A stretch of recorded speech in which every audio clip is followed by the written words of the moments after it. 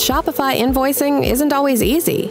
If you're running an online store with customers all over the world, it's difficult to keep track of all the local laws and regulations surrounding documents like invoices, credit notes, and pro forma invoices. Invoicing involves more than just creating invoices from orders. It requires businesses to create and send the right type of documents in the correct order. It's also worth noting that in many countries, you cannot alter invoices after you send them to the customer.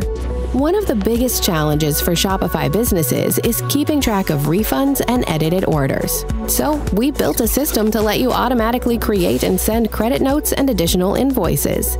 This ensures you stay compliant with invoicing legislation in over 50 countries.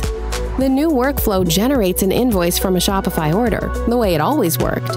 In the new version of Sufio, if the customer returns an item and gets a refund, the app automatically creates a credit note to say your business refunded the cost of the item.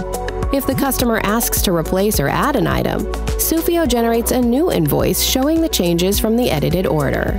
This gives your business all the documents needed to show the order's detailed history.